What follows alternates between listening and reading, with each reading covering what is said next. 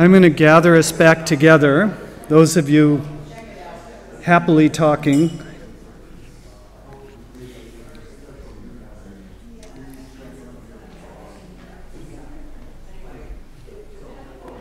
Welcome if you're just joining us, and welcome back if you're here for the afternoon. Um, I want to thank the North Chapel, which is the Unitarian Society of Woodstock, for this beautiful space, which for many years this has been the poetry home at Bookstock. I'm Jim Schley. I'd like to acknowledge Partridge Boswell, who planned this program and is one of the co founders of Bookstock, but isn't here. The summer he's in Ireland, and I'm the pinch hitter. Um, please silence your cell phones and other devices that might yawp at us, barbaric yawp. And uh, we've been asked by the church not to have food or drink other than water in here, so keep that in mind. There are restrooms straight through that door, straight through this door, two more down below um, if there's a rush. Um, Bookstock is supported by many organizations, and if you look in your program and you know a business person who's listed there as a sponsor, please tell them that you appreciate the support. I want to mention um, some inns which have, for some of the authors who've come from greater distances, have provided complimentary lodging. Ardmore Inn, Charleston House, Sleep Woodstock, Deerbrook Inn, Quality Inn in Quechee, Shire Woodstock, the Fan House in Barnard, and the Woodstocker B&B. And also thanks to our bookselling partner, the Yankee Bookstore, which is in the foyer, where um, the featured authors from this venue um, you'll find their books and opportunity to sign.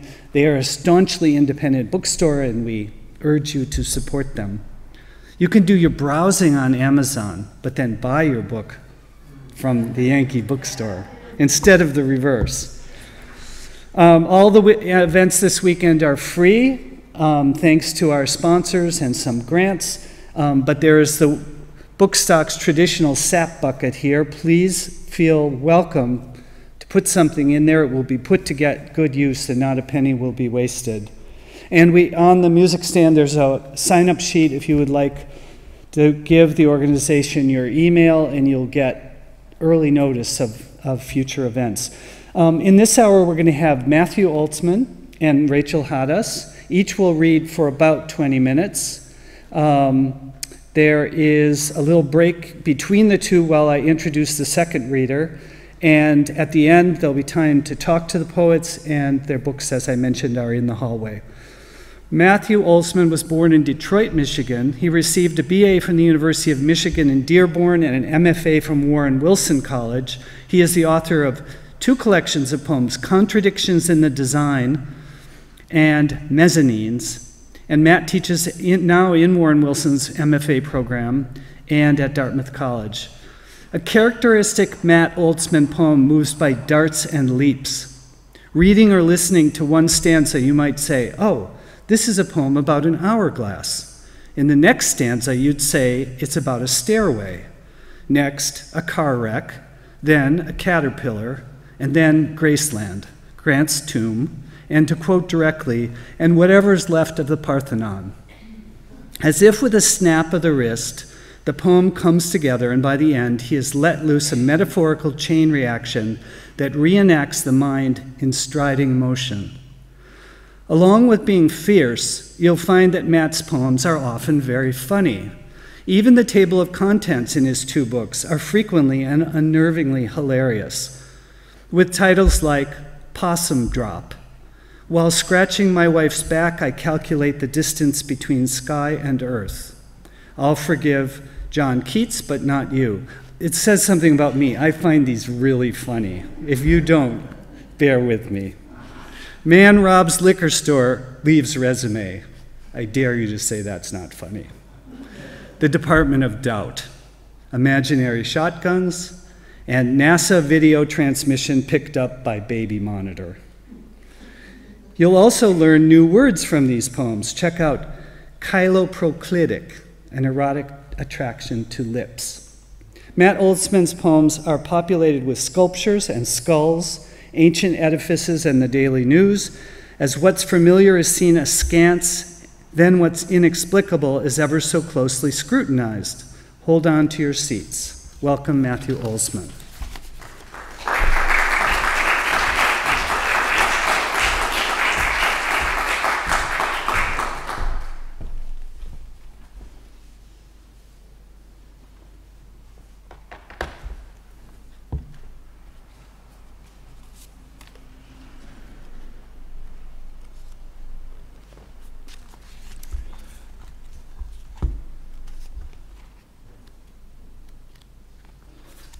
Is a poem from my most recent book. It's called The Man Who Was Mistaken. No, I'm not the Associate Dean for Faculty Teaching and Learning. You're thinking of Gary Hawkins as what I told the second person this week who thought I was Gary. Gary, who, like me, is bald and wears glasses. I, I wrote this before I like grew my hair long. Gary, who, like me, is bald and wears glasses. Gary, who once 10 years ago was mistaken in an airport for the musician Moby. Moby, who, like me, is bald and wears glasses. I am not Moby. I'm the man who was mistaken for the man who was mistaken for Moby. I'm okay with that distinction, just like I'm not Jesus, but in 1996 I went to I shared an apartment with a guy who would go to parties in Detroit and dance until his ankles bled. He came home once talking not about Moby, but the idea of his music. I was trying to play a video game. It was Street Fighter, I think, and I was about to win the thing, which is when he said, You know that part in the song First Cool Hive where the music stops being music and starts being tongues of fire descending across the land? Which is when I said, No, which is when he said, Stop being cynical. I'm trying to say I had a spiritual experience, that the spirit was inside the music. I'm talking about Jesus, which is when I said, Wait, you think Moby is actually Jesus? Which is when he said, I think we all are, which is when my guy on the TV screen got his head kicked in and, and died. The game was over. I didn't know what he was talking about, but looking back, I realized that music and the spirit are fused, like that point on the horizon where you can't tell the earth from the sky from the smokestacks that ignite them both. Am I saying one face in the crowd could be any other face? Am I saying we're not all that different? Am I saying we are all connected? No. I'm saying my roommate ate a lot of drugs and would come home and say crazy things. Once he thought our furnace was talking to him, which is when I said, Well, why don't you tell me what the furnace was trying to say? Which is when he said, It said that me and it would always be enemies. Which is when I said, Son, that's a fight you can never win. Which is when, when he said, Okay, then went outside to dance on the hood of his car, which is when the cops came. Perhaps he was right. Jesus was inside the music, and the music was inside my roommate and the state couldn't tolerate it, so they sent a couple officers to make him stop. What did the music tell him? It told him the world was on fire. He danced anyway. So many people in the world, and when they dance inside the pulse of smoke machines and strobe lights, I can't tell one from the next from the next. There's a word for the fear of being unable to distinguish yourself in a place like this. I'm not Jesus. I'm not Moby. I'm not Gary Hawkins. I'm the guy who looks like that other guy. Him, the one who has changed, the one who could be someone else.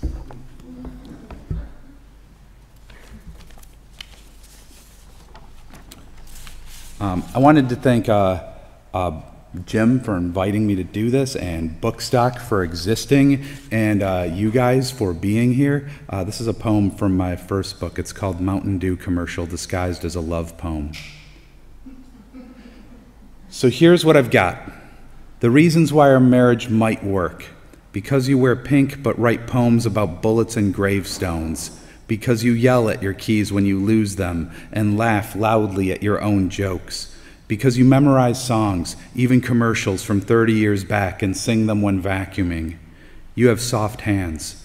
Because when we moved, the contents of what you packed were written inside the boxes because you think swans are overrated and kind of stupid, because you drove me to the train station, you drove me to Minneapolis, you drove me to Providence, because you underline everything you read and circle the things that you think are important and put stars next to the things you think I should think are important and write notes in the margins about all the people you're mad at, and my name almost never appears there because you made that pork recipe you found in the Frida Kahlo cookbook.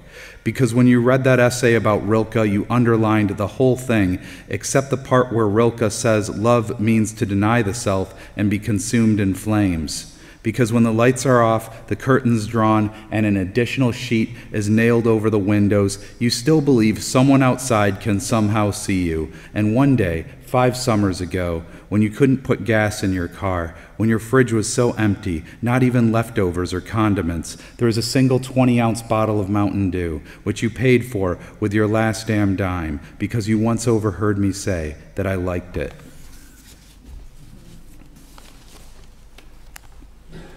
Uh, I'm going to mostly be reading some poems from uh, my next collection, uh, which will be out in a couple years from Alice James. Uh, and it's a collection of, of mostly uh, epistolary poems, so letters or uh, weird poems about post offices. And this is a letter to Bruce Wayne. A good place to hide a drop of water is a stream. A good place to hide a stream is beneath an ocean. A good place to hide a man is among thousands of other men. Watch how they rush through the city like water through a ravine. I've searched many famous cities for you. There are three listings for Bruce Wayne in Houston, two in Pittsburgh, one in Miami, one in LA. In Tampa, Bruce Wayne is a retired chemistry teacher. In Flagstaff, he drives a taxi and hopes to procure a diamond for his soon to be fiancee. A good place to hide a star is a galaxy. A good place to hide a galaxy is a universe. Look at the night sky. Justice used to be a cowl and cape, the flicker of wings under an etiolated moon, and you, like a gargoyle, crouched atop some stone edifice. To conceal the universe, place it in a multiverse that hypothetical clatch of alternate realities. The dilemma of the word alternate is how it implies a norm, a progenitor stream from which the alternate diverges. Which is the alternate? Which is right here, right now? There is no such thing as Gotham City, but here is Gotham City, and I've been so naive, believing the truth of the old comic books, how they promised a recognizable villain, a clown with a ruby slashed mouth, a lunatic's laugh, in the universe where I exist, supervillains look like everyone else. Give them an old flannel to wear and a square jawline to smile at the world, and suddenly they're hanging a noose in a middle school bathroom. They're shouting, Get out of my country from the window of a passing car. They're pulling a revolver in a crowded bar room or bus stop or the middle of the street. They could be anywhere. They could be everywhere. A good place to hide a tyrant is a full length mirror. A good place to hide that mirror is the heart of a well populated area. In the battle of good versus evil, I was so sure that good would win. Now I just hope something good will survive. Get a job cutting hair, selling cars, make it home in time for dinner. I suspect there's a parallel dimension where you, dear vigilante, long for this as well. To have a normal life is victory enough to remain anonymous and not be spat upon on the subway. In Boston, Bruce Wayne owns a pawn shop. In Milwaukee, he plays pinochle and feeds stray cats. In New Hampshire, he goes fly fishing on the Sugar River, reels in one brook trout after another. When he removes the hook from a mouth, he might place the fish into a cooler, or he might, or he might set it back into a stream, watch as it swims far, far away. I found the water.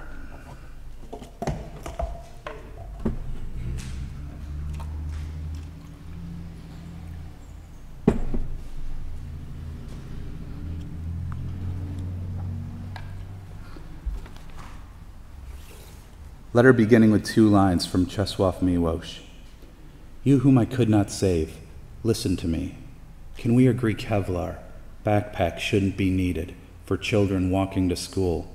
Those same children shouldn't also require a suit of armor when standing on their front lawns, or snipers to watch their backs as they eat their lunches. They shouldn't have to stop to consider the speed of a bullet or how it might reshape their bodies, but one winter back in Detroit, I had one student who opened a door and died. It was the front door to his house, but it could have been any door. The bullet could have written any name. The shooter was 13 years old and aiming at someone else, but a bullet doesn't care about aim. It doesn't distinguish between the innocent and the innocent.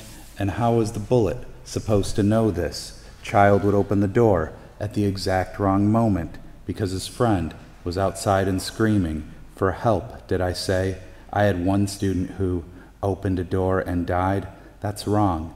There were many. The classroom of grief had far more seats than the classroom for math, though every student in the classroom for math could count the names of their dead. A kid opens a door a bullet couldn't possibly know, nor could the gun, because guns don't kill people. They don't have minds to decide these things. They don't choose or have a conscience. And when a man doesn't have a conscience, we call him a sociopath. This is how we know what type of assault rifle one can become and how we discover the hell that might thrum inside any of them. Today, there's another shooting, and the dead are everywhere. It was a school, a movie theater, a parking lot.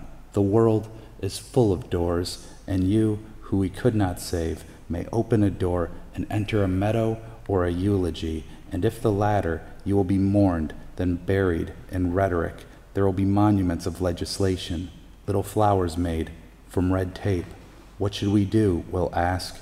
Again, the earth will close like a door above you. What should we do?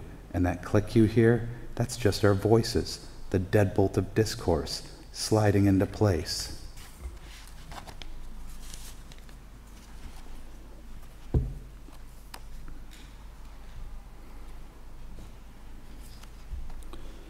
This is a prayer near Black Mountain, a farm in North Carolina, 11:36 p.m. early May. Our Father who art in heaven and also the centipede grass and the creek and the engine that warbles roadside, thank you for the black silhouette of mountains and the deep black against the regular black of the night. Thank you for the field between me and them even though I can't see it, and thanks for the ability to imagine what can't be seen. I imagine you, just as these lowing cows must have faith in the field as they glide across it, seeing nothing out here but the outlines of each other, my headlights, an obliterated barn in the distance.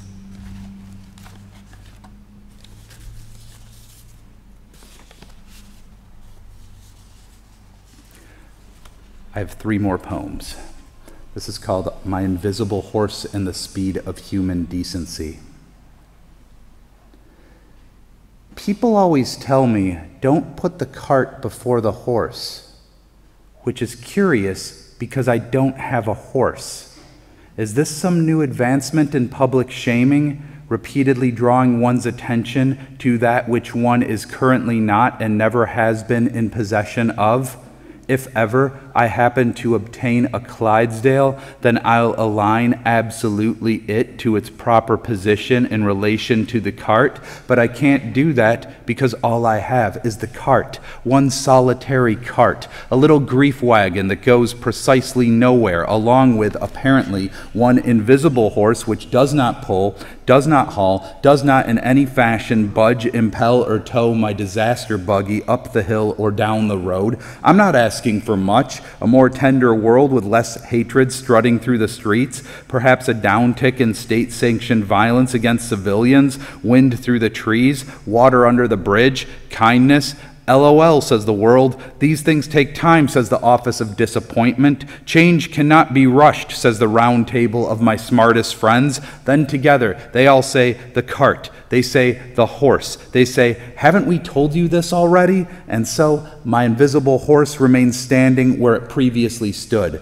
between hot dog stands and hallelujahs, between the NASDAQ and the moon's adumbral visage, between the status quo and the great filter. And I can see that it's not my horse's fault, being invisible and not existing, how he's the product of both my imagination and the greater good's failure of imagination. Watch as I press my hand against his translucent flank how I hold two sugar cubes to his hypothetical mouth, how I say I want to believe in him, speaking softly into his missing ear.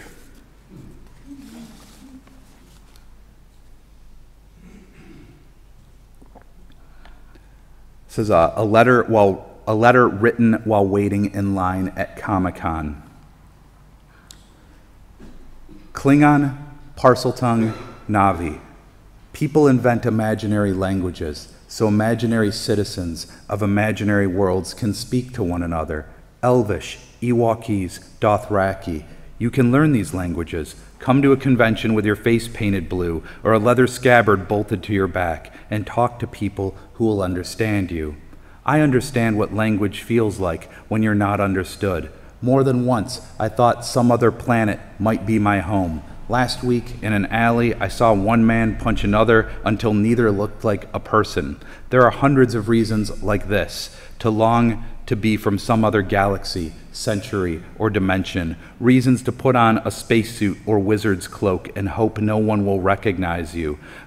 But it's not these costumes that amaze me. It's always been the languages, the way they reach for something that can't be said in our tongue. In the only language I know, there are not enough words for parabola or isotope, too few phrases to say, I'm sorry or I'm glad that I found you. Though we've been married for years, I wish we met when we were children.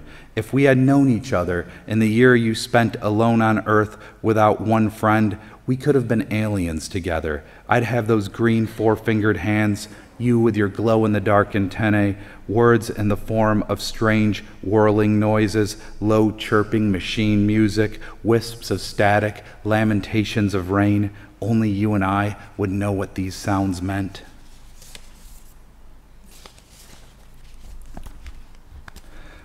My, my wife, who, who you'll hear, uh, Vievee, who you'll hear read later today, she's always t- saying, Your best poems are all about me. You should write more poems about me. But then when I read them, she's like, You should stop reading poems about me. So, um, this is the last poem I'm going to read. Thank you guys for listening. This is a, a letter to the person who, during the Q&A session after the reading, asked for career advice. The confusion you feel is not your fault. When we were younger, guidance counselors steered us toward respectable occupations doctor, lawyer, pharmacist, dentist. Not once did they say exorcist, snake milker, or race car helmet tester. Always investment banker, IT specialist, marketing, marketing associate. Never, you should be a rodeo clown. Never, air guitar soloist, chainsaw juggler, or miniature golf windmill maker. In this country, in the year I was born, some 3.1 million other people were also born, each with their own destiny, the lines of their palms predicting an incandescent future. Were all of them supposed to be strategy consultants and commodity analysts? Water slide companies pay people to slide down water slides to evaluate their product. Somehow, that is an actual legit job. So is the naming of nail polish colors. Were either of these presented as options? You need to follow your passion as long as your passion is not a Sistina and is definitely a hedge fund. If I could do it over, I'd suggest an entry level position standing by a riverbank, or a middle management opportunity winding like fog through the sugar maples of New England. There's a catastrophic shortage of bagpipe players, tombstone sculptors, and tightrope walkers. When they tell you about the road ahead, they forget the quadrillion other roads. You'll know which one belongs to you because it fills you with astonishment or ends with you being reborn as an alpine ibex, a gravity defying goat, able to leap seven feet in the air, find footholds where none exist, and, without imagining it could ever be anything else, scale a vertical sheet of solid rock to find some branches, twigs, or wild berries to devour. Thank you.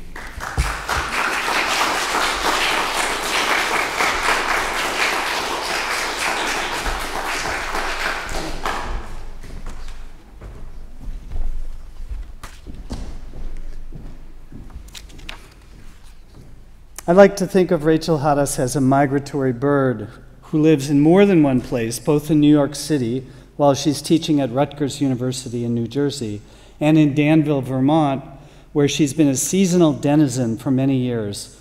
She's also a world traveler and the author of more than two dozen books so far collections of poems, essays, translations of poetry, and drama from multiple languages. She translated from French one of Paul Verlaine's poems in eighth grade. She has written a gorgeous and difficult memoir called Strange Relation about losing a spouse to dementia an experience also encompassed by poems in her 2012 book, The Golden Road. Let's consider the idea of the classical and classicism. In classical painting and sculpture, for example, in Greek and Roman anti- antiquity, or among the neoclassical European artists, artists of the Renaissance, we found, find encounters between mortal people and gods, monsters, creatures that can metamorphose between these states and registers. And you'll also find the impending presence of the mythic, supernatural in Rachel Hadas's poems, often combined inseparably, inseparably with episodes of domesticity and ordinary worldly life. These poems are filled too with incidents and encounters we recognize as everyday, yet transformed from incidental to mythic in impact. This is a poet who is profoundly learned, but who transmutes her erudition with a light touch, delicate, insistent. I know you'll recognize another, another aspect of classicism in the fluency with formal techniques that is very apparent in Rachel's poetry supple, pivotal rhymes, metrical rhythms, compression in phrasing, which create pressure a tension between intellectual restraint and unsuppressible power of emotions. Welcome, Rachel Hadas.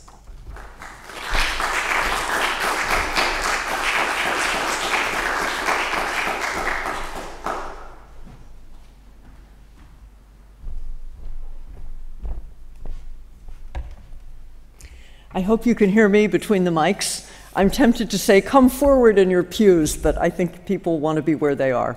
But let me know if you can't hear me. Thank you for a beautiful introduction, Jim, and for an enormously smart and entertaining reading, Matthew. You make me feel very old and slow.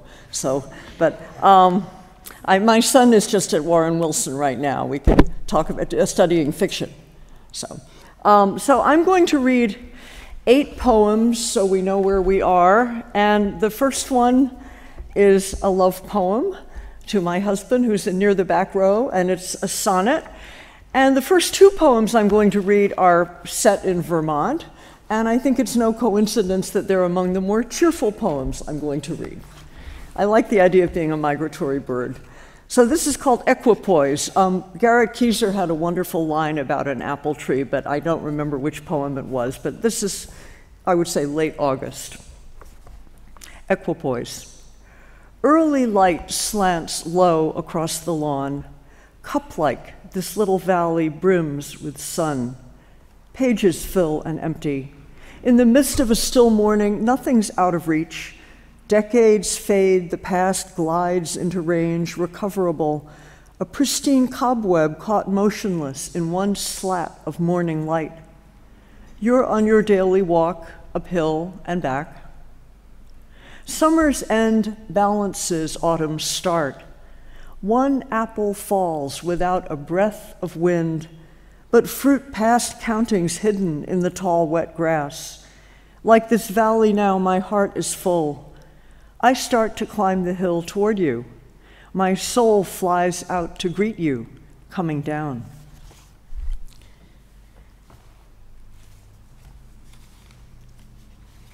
One patient person in the audience heard me read in Brownington only a few days ago, but this is a poem I did not read in Brownington.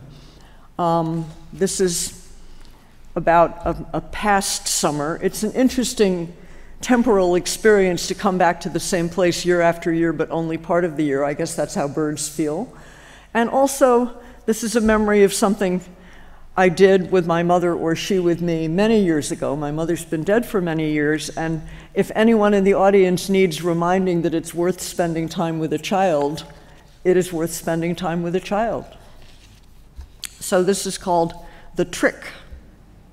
I thought of it the other day a book my mother made with me.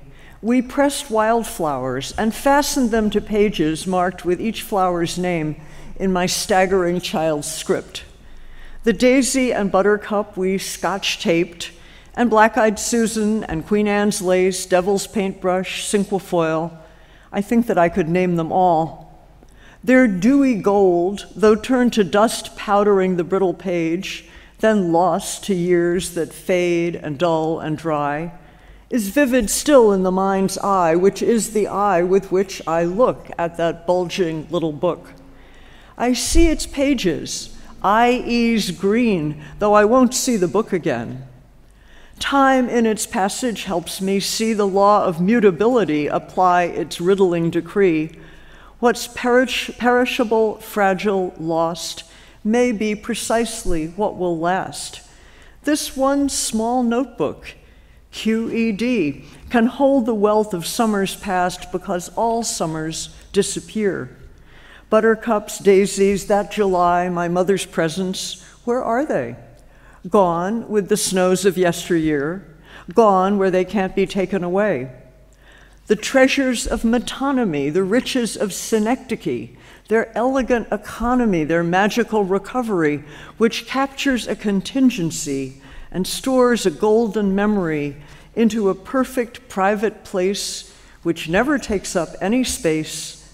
This is the trick of poetry.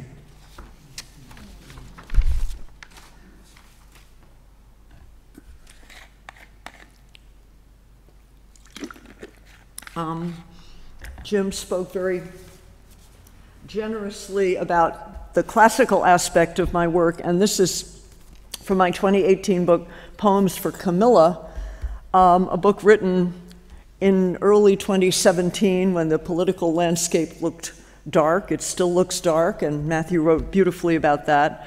Camilla is a character in Virgil's Aeneid, but we rarely read the second half of the Aeneid in high school. We read, if we read Latin, we read some of Aeneas's adventures leaving Troy, but when he arrives in Italy, there's a civil war. It's very dark and gets even darker. Camilla is a native princess who actually comes to a bad end. We have a granddaughter named Camilla, who I hope will not come to a bad end. But the way this book works is just that every poem has an epigraph from Virgil's Aeneid. Virgil was a tremendously powerful lyric poet who kind of stretched himself into writing epic, which he was not so well suited for. So I like to quote a few lines at a time. Um, in book nine of the Aeneid, two warriors about to go into battle are having a short conversation. They're also lovers, and one of them survives and one does not. And one of them says to the other, I'm just translating quickly, are the gods putting this desire for glory in our heads? Or does everybody's wish become a God to him? Good question, right? So this is called the source of thoughts. Tell me, do the gods implant this ardor in our minds? Is it an add on? Or flip it? Maybe we ourselves attribute to the gods our heart's dear, direst wishes. Or take it one step further. Could it be that what we wish becomes a God to us? Do things work outside in or inside out, top down or bottom up? The passage I have fixed on, did it fly from some high dusty shelf, some mottled page, straight into my mind? Or did I, rather, happening to revisit the second half of the Aeneid for the first time in more than 50 years, Pluck the waiting words fresh from the page like immemorial fruit. Or, on the third hand, did my own fears and wishes conjure up the passage? Oh, my beloved, where do thoughts come from?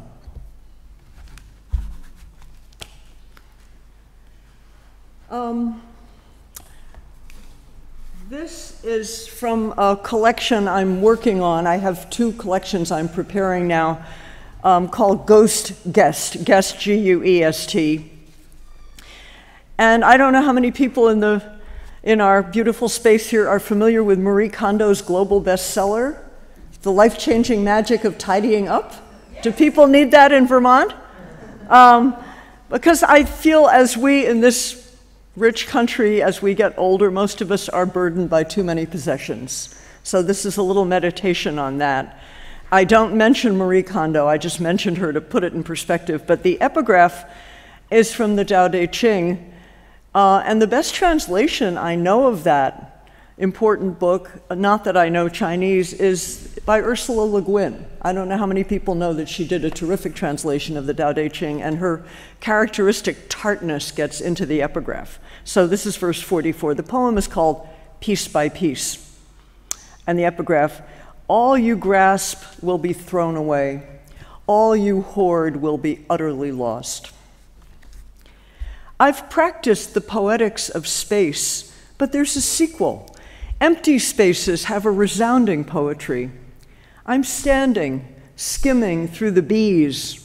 On the shelf near Bachelard, Keith Basso, wisdom sits in places, sits in empty places. While it's easy, study the hard. We've heard about the art of losing. Passing on is also choosing. Things are in motion, fast or slow. Clouds keep sailing through the sky. Holding on makes nothing stay. Give things permission to go. Touch with gentleness, release, and rooted objects will break loose. A landslide that gathers speed and leaves a brightness in its wake. A lacy layer of memories like foam lines scribbled on a beach. This was Vermont, and here was Greece. For the time left, what do I need? what to take, what not to take. Little by little, page by page, let me give myself away. Each addition to one's age asks for subtraction. It is time to be packing. Travel light. What is the final appetite? What is there I will not let go?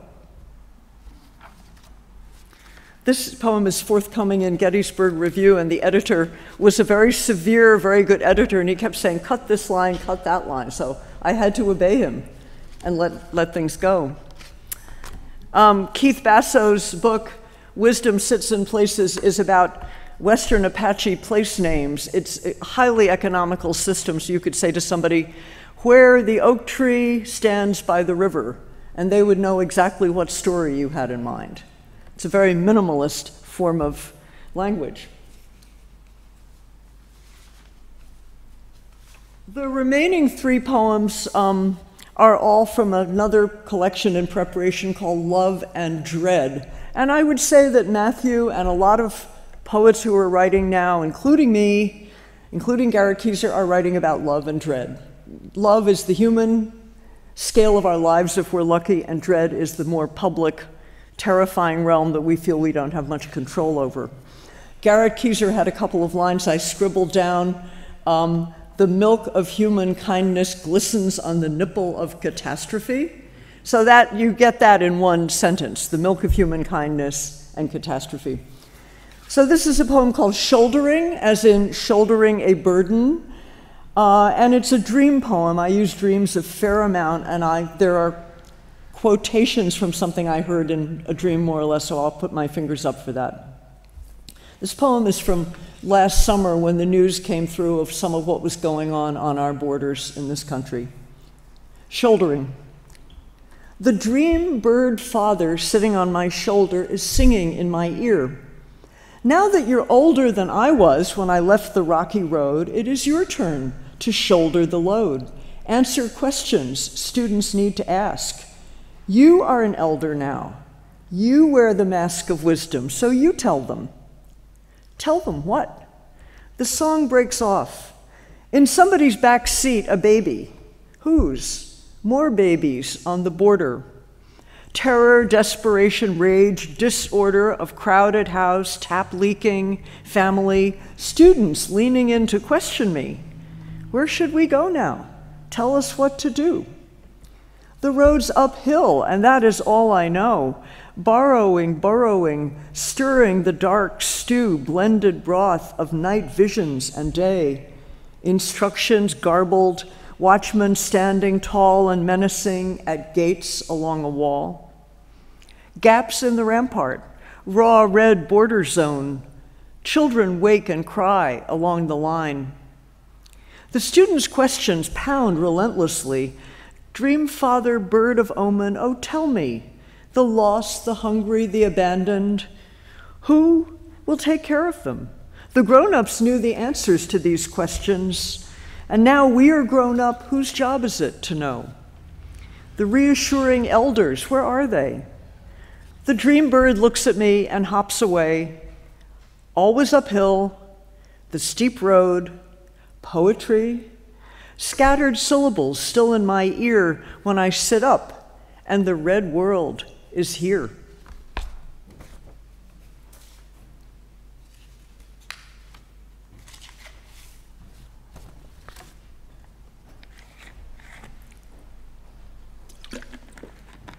Two more poems. Um, this is the title poem of Love and Dread.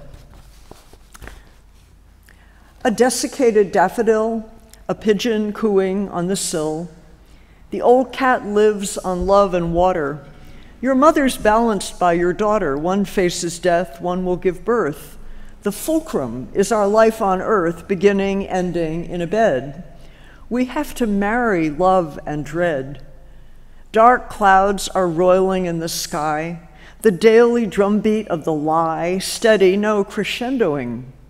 This premature, deceptive spring forsythia's in bloom already. The challenge, balance, keep it steady. Now sniffing daffodil's aroma, now Googling a rare sarcoma. The ghost cat's weightless on my lap. My mother's ghost floats through my nap as dearest heart we lie in bed. Oh, we must marry love and dread, must shield our sense from the glare and clamor of chaos everywhere. Life bestows gifts past expectation. It's time to plan a celebration, dance at the wedding, drink and sing, certain that summer follows spring. The baby is the youngest guest as new life blossoms from the past. But just how long can we depend on a recurrence without end? Everything changes, even change. The tapestry of seasons strangely stirs in an uneasy wind that teases dreamlike through the mind. I reach for you across the bed. Oh, how to marry love and dread. And this is sort of a variant on the same theme. It's called a poultice, as in applying a poultice to a wound. And there are several strands in the poem that you'll notice coming back. One of them is an herbal poultice. My son is an herbalist and recommends things when I have something wrong with me, and in this case, it was just a bruise. Um, public events, those scary public events, private love, and in New York City, this is from the other part of my life, um, Hamilton Grange is the farmhouse that Alexander Hamilton built to be his country house, which is now in Harlem, somewhere around 140th Street in New York. It's certainly not in the country now. And Hamilton did not live to retire to Hamilton Grange. I wrote this before the musical made us all so familiar with Hamilton.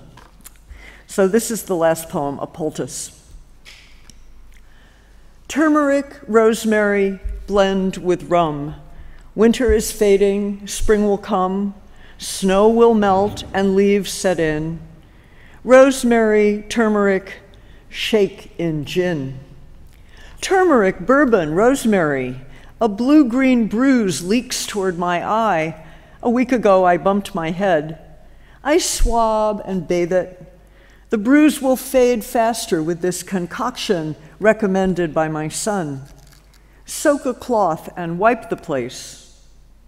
Weapons are poised to fight in space. Refugees packed in lifeboats drown. Cyber attacks, the system's down, an outage no one can repair. The turmeric has stained my hair. The pillow smells of alcohol. Wind and rain and petals fall. Sunday excursion, Hamilton Grange, the empty streets subdued and strange, the widowed house perched in its park, white petals gleam in the gathering dark. April this year is cool and slow. The stain seeps toward my left eyebrow. Care for the hurt place, soak, swab, wrap. And then, before I take a nap, dab the spot with oil of myrrh, the poultice, patience, and desire. Turmeric, rosemary, and rum, My love and I are rocked in time. The motion lulls us. We forget the bruise, the wound, the doom, the threat. Thank you very much.